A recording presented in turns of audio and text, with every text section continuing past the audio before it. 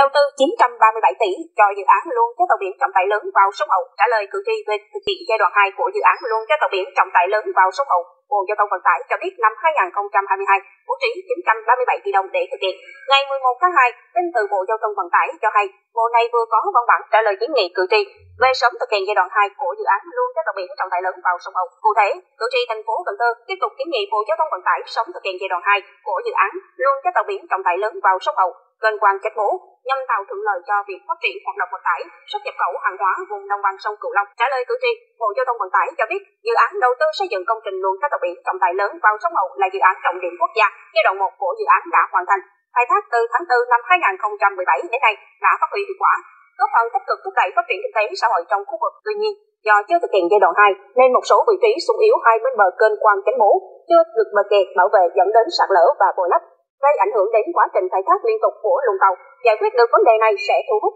được các tàu có trọng tải đến 20.000 tấn, giảm tải lưu thông thường xuyên trên tuyến luồng, đẩy nhanh tốc độ tăng trưởng hàng hóa thông qua hàng năm. Tăng trưởng hàng hóa thông qua hàng năm, hiện Bộ Giao thông Vận tải đã phê duyệt điều chỉnh dự án theo đó. Thời gian thực hiện giai đoạn 2 từ năm 2021 đến năm 2023 và bố trí 937 tỷ đồng trong năm 2022 để thực hiện. Bộ cũng đang tập trung chỉ đạo quản lý dự án hàng hải Ban quản lý dự án hàng hải khẩn trương hoàn chỉnh thiết kế kỹ thuật công bố giai đoạn 2 để phê duyệt. Văn bản trả lời cử tri của Bộ Giao thông Vận tải nêu về công tác nạo vét duy tu luân câu Bộ Giao thông Vận tải cho hay năm 2020 đến năm 2021, Cục Hàng hải Việt Nam đã bố trí hơn 590 tỷ đồng nạo vét các khu vực quan cạn do bồi lấp và sạt lở và đã hoàn thành tháng 9 năm 2021. Đầu tháng 11 năm 2021, cảng vụ hàng hải Cần Thơ cho phép tàu Motoni tổng trại Cần Thơ đã cho phép tàu Futuni trọng tải đến 13.479 tấn giảm tải thông qua tuyến luồng vào cảng VIMC Hậu Giang làm hàng an toàn.